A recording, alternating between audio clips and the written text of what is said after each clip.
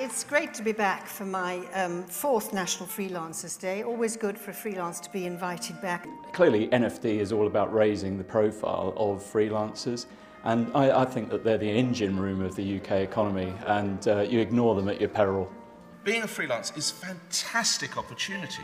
You are your own boss, and you should really, really try and encourage that. Very interesting to hear the different uh, opinions of the different speakers. You, you know, freelancers don't bring overheads and they don't bring staleness, they bring the opposite.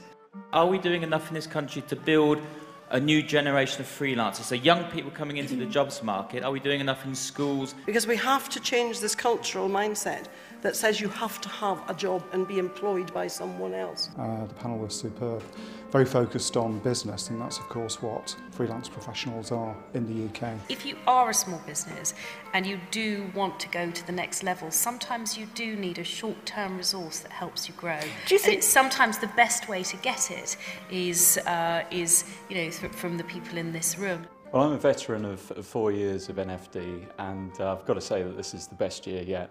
The venue, the speakers, absolutely first class, and uh, it's a credit to the PCG.